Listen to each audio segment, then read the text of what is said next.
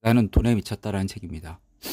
정말 구체적인 계획을 세우자. 평범한 사람은 자기가 사는 세상에 대한 관점을 완전히 바꿀 만한 돈 벌 준비는 곧하고 어쩌다 한 번씩 비실용적이지만 매우 귀여운 구두를 사는데 필요한 돈을 구하려는 의욕조차 느끼지 못한다. 누구나 다 자기만의 재능이 있다. 하지만 새롭고 반짝이는 재정 현실에 도달할 때까지 위험을 감수하고 정신적 변화를 꾀하면서 계속 밀고 나가려면 몸속에 크고 불타는 욕구가 들끓어야 한다.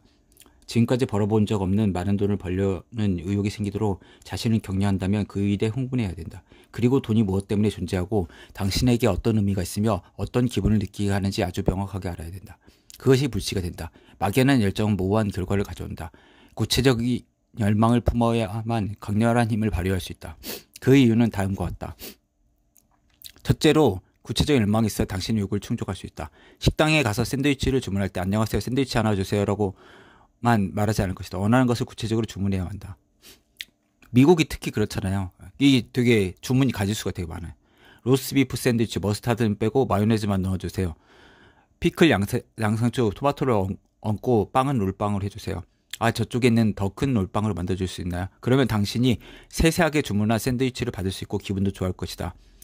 돈을 버는 일에도 구체적인 열망이 필요하다. 만일 당신이 돈을 더 벌면 아주 행복할 것이라는 생각에만 집중한다면 인생이 큰 변화를 가져올 수, 아주 수만 달러가 아니라 단돈 10달러만 벌지도 모른다. 두 번째도 구체성은 감성을 감정을 넣고 감정은 목표를 달성하기 위해 무엇이든지 할 수 있다는 진지한 결단력을 알려준다. 다음 시나리오에서 다양한 감정적 추진력을 느껴보자. 당신은 부자가 될 마음의 준비를 하고 5만 달러를 더 벌어야겠다고 결심했다. 그런데 그렇게 되면 얼마나 기분이 좋을지 생각하고 은행 계좌에 새롭게 숫자가 늘어나는 모습을 상상하자. 그리고 그만큼 돈을 벌 수 있다는 데 자신감을 느끼며 기쁨을 만끽하는 자신의 모습을 그려보자. 하지만 올해 안에 5만 달러를 벌고 그 가운데 3만 달러는 몇 년 전부터 결심한 주방을 개조하겠다는데 쓰겠다는 것처럼 더욱 구체적으로 접근할 때와 같은 흥분을 느끼지 못할 것이다. 여러 잡지에 실린 근사한 주방 사진을 오래서 벽에 붙여놓고 공소에 소요될 총비용을 천장, 손잡이 하나하나까지 전부 계산일을 생각해보자.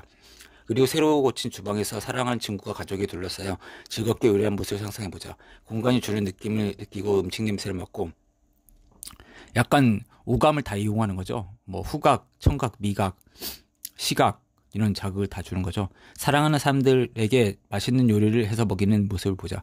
그래서 자기는 무엇이든지 다 할 수 있고 이런 환경을 만들어내는 것도 바로 자기 자신이라 되는 오는 만족을 느껴보자.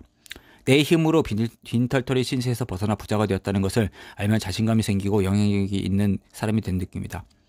돈을 많, 돈이 많을수록 시간을 자유롭게 쓸 수 있다. 아이들과 좀 더 많은 시간을 함께 보낼 수 있으면 좋겠다. 동물 구조 단체에서 뭐 기부를 할 수 있다. 청구서를 지불하거나 필수품을 사는 데만 돈을 쓰는 것이 아니라 영화관에도 가고 마음에 드는 옷도 사고 내가 무엇보다 좋아하는 의식도 할 수 있다.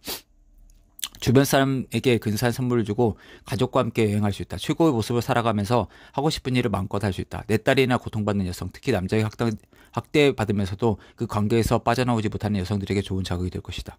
무슨, 무슨 말인지 모르겠네. 저축해둔 돈을 생각하면서 편히 잘, 밤에 편히 잘 것이다. 지금은 스트레스 때문에 잠을 자, 자지 못한다. 조기 퇴직이다.